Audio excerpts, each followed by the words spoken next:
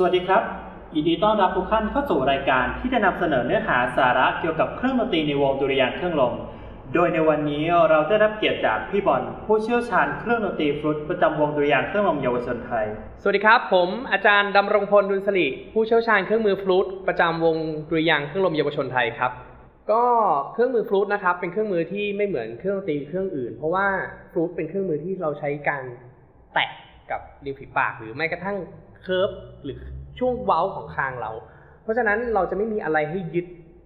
ติดกับเมาส์พีซหรือเฮดจอยของเราเลยเนี่ยครับ เพราะฉะนั้นโดยส่วนใหญ่เด็กๆที่ที่เพิ่งหัดเล่นอาจจะต้องมีกระจกนะครับเพื่อช่วยในการวางเฮดจอยให้ถูกที่ เพราะว่าถ้าเราวางผิดที่เนี่ยเสียงที่เราได้มาก็จะไม่มีคุณภาพ แล้วก็การที่เราจะเป่าลมเข้าไปเนี่ยในในตรงเนี้ยมันจะไม่ชัดแล้วก็ทำให้เราเปลืองลม อย่างเช่น มมติผมเป็นเด็กเพิ่งหัดเป่าใหม่เลยเนี่ย มันก็จะเด็กบางคนก็วางอย่างนี้เสียงที่ได้ก็ อย่างเงี้ยครับก็คือโฟกัสไม่ชัด เพราะว่าเขาแตะไม่ถูกจุด เราอาจจะต้องมีกระจกช่วยเพื่ออาจจะต้องเอาขอบด้านนี้นะครับ ไปแตะกับตรงรอยต่อระหว่างริมฝีปากกับคางเรา ตรงนี้มันจะมีรอยต่อตรงนี้นะครับ แต่เราก็ลองต่อดู ก็ดีขึ้นนะครับ เพราะฉะนั้นการวางกวาดกับเฮดจอยเนี่ยค่อนข้างสำคัญเป็นเรื่องสำคัญมากๆของของฟลุตเลย แล้วก็อีกอันหนึ่งที่ที่เราเจอประสบปัญหากันก็คือเด็กๆ จะเป่าเครื่องเอียงอย่างนี้ ถามว่าต้องต้องเอียงหัวตามไหมก็ถ้าเอียงหัวก็ผิดสรีระร่างกายนะครับ ร่างกายเราสร้างมาให้เรายืนตัวตรงเนาะเพราะฉะนั้นถ้าเกิดเครื่องเราเอียงนะครับ ลมมันก็จะออกข้างๆ จะได้ยินเสียงเขาเรียกว่า noise หรือ windy ก็ได้ครับ คือมันจะเป็นเสียงที่รบกวน เป็นไปได้พยายามหากระจกเพื่อฝึกให้เกิด จุดที่ลมตัดเข้ามาในพอดี แล้วก็เด็กๆบางคนก็ปิดออก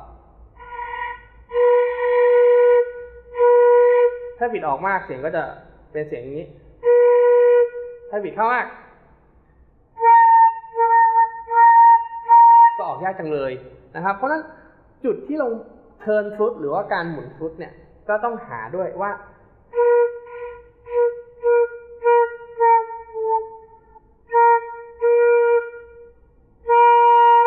สำหรับเด็กๆที่เพิ่งหัดเป่าเนี่ย ผมแนะนำว่าควรจะมีกระจกหรือว่าซ้อมกับกระจกเลยครับ เพราะว่าจะได้เห็นเลยว่า เอ๊ะ ร่างกายเรายืนตรงอยู่แล้ว เราจะไปเอียงหัวไหม หรือว่าเราถือฟลุตเอียงไหม หรือว่าเราขยับ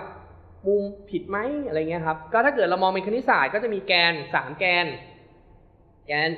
x แกน y แกน z แกน z ก็คือด้านนี้ครับ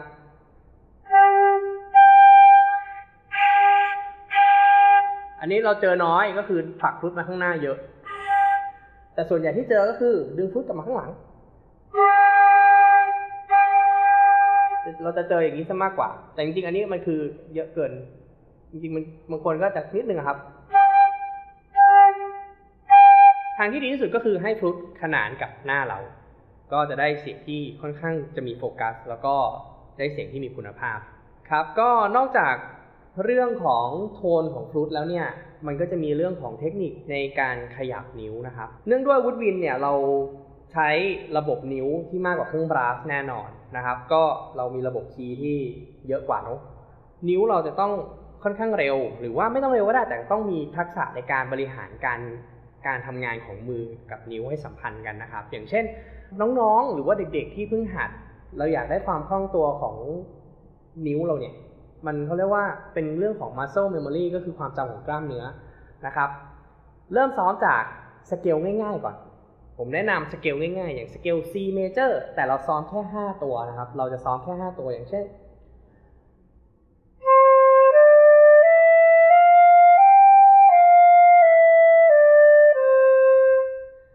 นี้แล้วเราก็เล่นสี่รอบซ้ำไป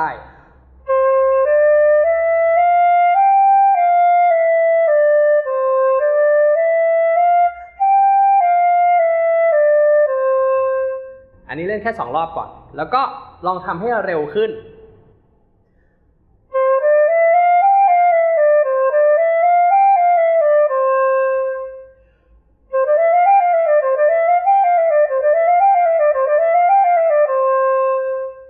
แล้วก็เปลี่ยนสเกลก็จะได้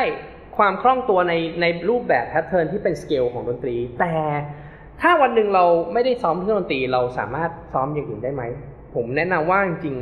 กล้ามเนื้อเราทำงานได้ทุกวันครับ เราสามารถซ้อมได้ที่บ้านโดยไม่ต้องมีเครื่องดนตรีก็ได้ครับสำหรับน้องๆที่มาไม่สามารถซ้อมที่บ้านได้ ก็เดี๋ยวจะแนะนำว่าเราจะซ้อมยังไงก่อน เพื่อให้กล้ามเนื้อเราเนี่ยได้ยืดเหยียดนะครับ หรือว่าได้ stretching เนี่ยกล้ามเนื้อไปด้วย โอเคครับสำหรับการบริหารกล้ามเนื้อแขนหรือกล้ามเนื้อมือของเราเนี่ยไม่จำเป็นเฉพาะฟลูตนะครับเครื่องวูดวินหรือเครื่องบราสก็ลองทำได้นะครับวิธีการก็ไม่ยากนะครับ เราพนมมือไว้กางนิ้วออกห่างกันอย่างนี้ ให้นิ้วติดกันมากที่สุดนะครับ แล้วก็ลองขยับนิ้วออกอย่างนี้ก่อน โดยที่ให้ฝ่ามือเราติดกันไว้นะครับ สังเกตว่ามือ ตรงเนี้ยเราจะตึงมากเลย อ่านี่คือขั้นแรก เราสามารถซ้อมได้ นั่งรถกลับบ้านหรือว่าแบบระหว่างที่นั่งรอใครเนี่ยเราก็ซ้อมนี้ได้นะครับ ก็ฝึกไว้ มันก็จะเกร็งเกรงมือหน่อย ถ้าเกรงปุ๊บเราก็สะบัด อย่าทำจนมันเกรงมากนะครับ อ่าเดี๋ยวผมทำอะไรให้ดู ถ้าเราขยับมือนะครับ ขยับมือ สังเกตว่ามัดกล้ามเนื้อเราจะขยับ เพราะว่ากล้ามเนื้อทุกส่วนนี้ทั้งหมดนะครับ เป็นส่วนที่สั่งงานมือเรา หมายความว่าถ้าเราอยากให้นิ้วเราแข็งแรงขึ้น กล้ามเนื้อมัดพวกนี้ต้องแข็งแรงตามไปด้วยนะครับ อีกวิธีหนึ่งที่นิยมใช้กัน ก็คือแปะมือไว้นะครับ เหมือนเดิม ก็ พับมือลง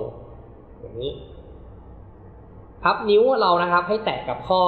ของฝั่งตรงข้ามไม่ได้ นะครับ อย่างนี้ โดยที่ห้ามมือแตกออกจากกันนะครับอย่างนี้แล้วก็แปะไว้ เนี่ยครับ สังเกตว่ากล้ามเนื้อที่แขนเราจะขยับให้เป็นรูป ถ้าเราดูจากกระจกหรือว่าให้เพื่อนดูนะครับ เราก็จะเห็นเลยว่ากล้ามเนื้อเราเนี่ยขยับในส่วนที่อยู่ตรงแขนด้วย เนี่ยครับทำอย่างนี้ปุ๊บนิ้วเราก็จะมีความยืดหยุ่นแล้วก็แข็งแรงมากขึ้น เหมาะสำหรับเครื่องวุดวินในกรณีที่เราไม่สามารถซ้อมที่บ้านได้ไม่มีเครื่องนะครับ เราซ้อมแค่เนี้ย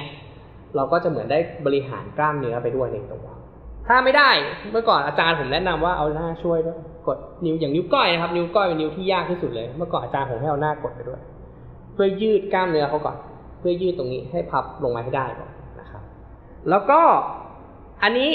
เล่นสนุกสนุกอันนี้ฝึกฝึกไว้เพื่อพัฒนา สมองซ้ายขวาซีกซ้ายขวาแล้วด้วยครับ แล้วก็ลองหมุนดู หมุนหน้าหมุนหลัง หมุนหน้าหมุนหลังนะครับ เปลี่ยนนิ้ว เราสามารถสั่งนิ้วเราได้ไหม อันนี้นะครับก็คือการสั่งงานของระบบประสาทกับความสัมพันธ์ของกล้ามเนื้อว่าเราสามารถสั่งให้นิ้วเราทำงานได้หรือเปล่า ถ้าเราฝึกได้นะครับ เราก็จะแยกประสาทได้ด้วยนะครับเนี่ยครับนิ้วก้อยก็จะยากหน่อยเพราะนิ้วก้อยเป็นนิ้วที่เราไม่ค่อยได้ใช้ นะครับ เราเลยต้องฝึกเขาค่อนข้างเยอะนิดนึงคุณหมอบอกว่าการเล่นพวกนี้ช่วยทำให้เราไม่เป็นอัลไซเมอร์ด้วยนะ ก็เผื่อให้คุณแม่คุณพ่อ หรือคุณตาคุณยายเล่นได้นะครับ ช่วยบริหารสมองได้ ก็สุดท้ายนี้ก็ฝากวงดุริยางค์เครื่องลมเยชนไทยไว้ด้วยนะครับสำหรับน้องๆที่สนใจก็สามารถเข้ามาดูเพจแล้วก็เข้ามากดไลค์กดแชร์ได้นะครับ เราจะมีข่าวสารข้อมูลอัปเดตเรื่อยๆนะครับ ก็ สนใจก็มาเป็นส่วนหนึ่งของพวกเราครับ ขอบคุณครับ